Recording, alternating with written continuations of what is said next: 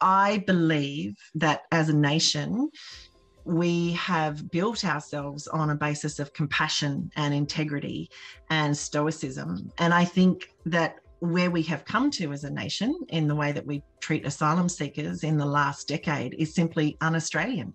I don't think it does us any um, service.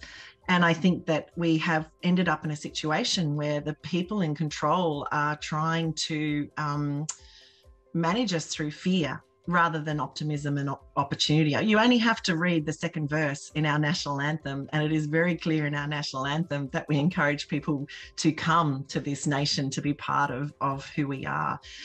When it comes to the Biloela family, I'm I'm actually it's nonsensical. It makes no logical sense. It and it, it's certainly there's no degree of compassion in it whatsoever. How can you have three members of a family be given an extension on a visa for 12 months and leave one child without that same opportunity?